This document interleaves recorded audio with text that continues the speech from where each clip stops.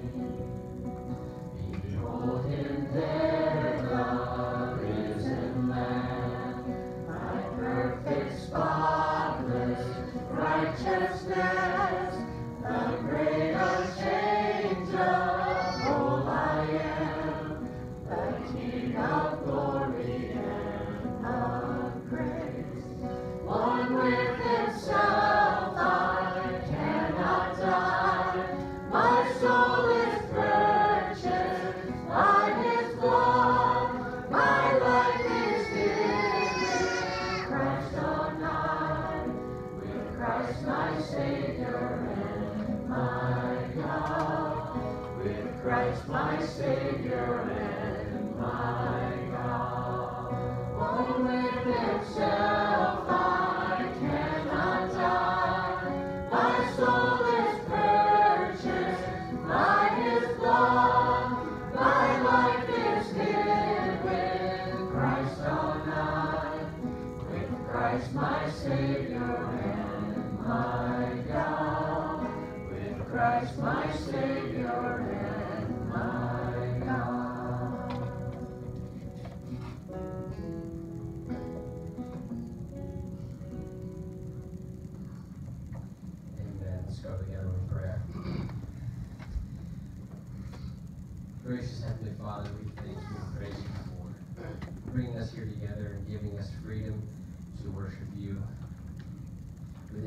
your Son, who's taken care of our biggest problems in this fallen world, that we might, in light of the cross, face any problem in our lives. We thank you for the church, and the fellowship we have in your Son. We ask that you be glorified, may your spirit fill this place this morning. Thank you that Dan could be here to bring us a message from your word. Speak through him, give him clarity, and open our hearts that we might be changed by what he has to bring us this morning. We ask these things